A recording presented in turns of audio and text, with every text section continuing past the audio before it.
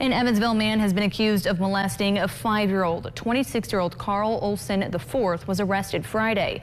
During an interview, authorities say he admitted to the allegations. Olson is being held on a $50,000 bond.